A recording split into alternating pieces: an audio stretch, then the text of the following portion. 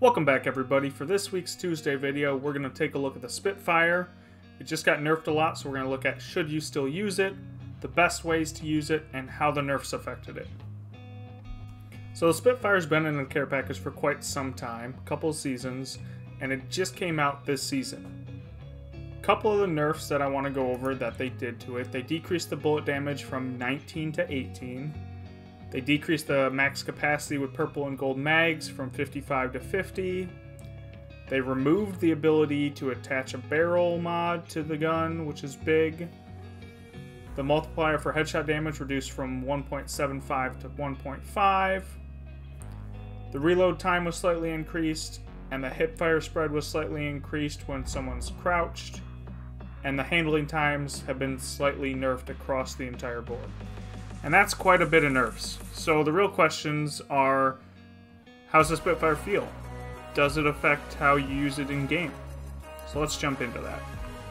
In my opinion, the biggest nerf that the Spitfire got was the removal of the barrel mod. This removes this weapon attachment completely, doesn't allow you to equip one, looks more like the flatline with it can just have a mag, a sight, and a stock. Despite the barrel mod being the biggest nerf in my opinion, I really haven't felt that effect that much when I've been using the Spitfire in game. I feel like its recoil is still not terribly hard to control, especially up close and mid range. And besides that, there's not a whole lot that it feels different from before it went into the care package. Now before I let you guys know if I think you should still use the Spitfire in competitive and ranked, even pub gameplay, let me jump in how to best use it. And I know what you're thinking. Oh, I don't need to learn how to use the Spitfire. I don't need any tips or tricks because all you gotta do is hold down the trigger.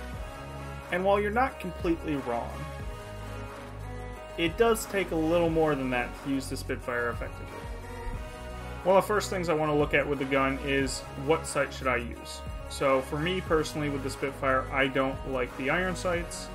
So when I find any other sight that it can use, I will throw that sight on there.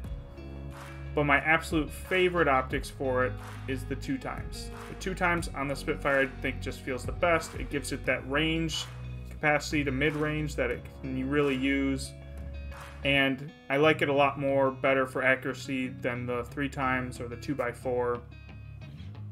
The next thing you want to look at with the Spitfire is what range you should use it at. So for me personally, I believe the Spitfire should only be at close to close mid range.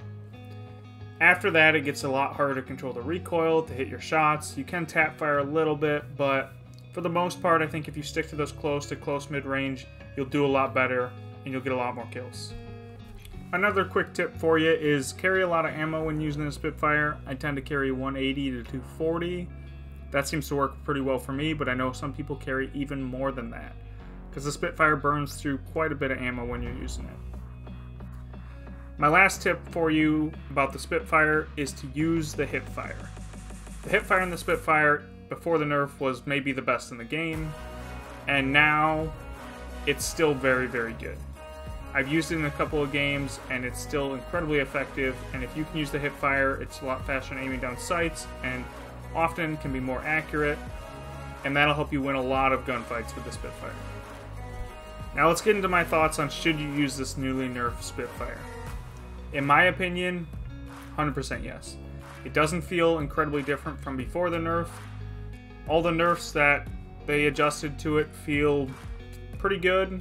I think they were warranted. The Spitfire before it got thrown in the care package was obscene. It would you would just destroy people with it.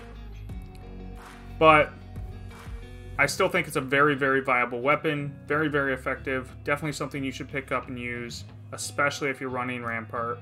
Rampart, it's a must-have. All in all, I hope you enjoyed this video. If you did, leave a like, subscribe, and let me know down below in the comments what you think of the Spitfire and if you think it's still good.